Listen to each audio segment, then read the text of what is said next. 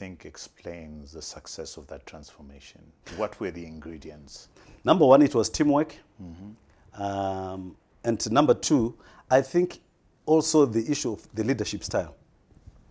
For me, there are three key lessons that I learned, the three forms of leadership that I saw. A leader as a shepherd.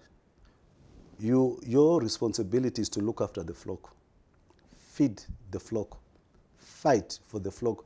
If your branch doesn't have certain equipment and whatnot, it was my responsibility to, to go and fight with my exco colleagues and say, guys, I need support. The finance director, I need support, I need this.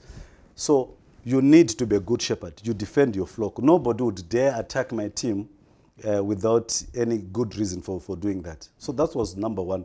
The second thing, the lesson there was uh, a leader is a servant. You are there to serve your team, you know.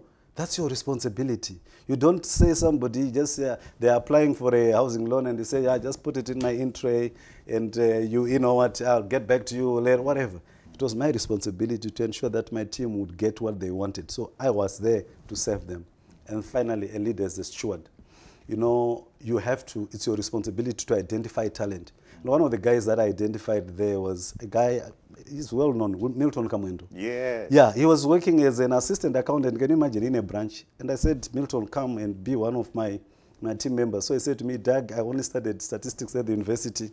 I can't, uh, I, I can't speak in front of people. So I said, Milton, come. Every Friday, would knock off at four, so I'll take him through the paces. And I remember at one stage we went to India. That meeting was supposed to be for directors, but I negotiated with my boss, Gideon Gono, to, for him to allow me to go with Milton. We, we spent three, three weeks there. And uh, Milton, I mean, right now, look at what he's doing. Yeah. You know, the sky is big enough for every bird to fly. And that's another lesson for, for, for, for the leaders. Don't compete with your subordinates. You know, don't compete with your subordinates. The sky is big enough for every bird to fly.